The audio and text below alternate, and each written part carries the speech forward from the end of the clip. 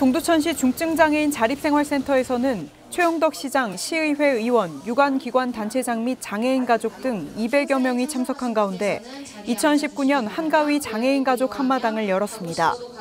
이날 식전 행사로는 국악협회 전통 민요 공연이 펼쳐졌으며 일부 풍요로운 한가위를 위한 명절 기념 축사를 시작으로 투어 던지기, 한궁 등 누구나 함께 참여하는 민속 경기 대회로 2부 행사가 진행됐습니다. 또한 고향을 찾지 못하는 장애인과 가족을 위해 합동 차례 시간을 가졌습니다.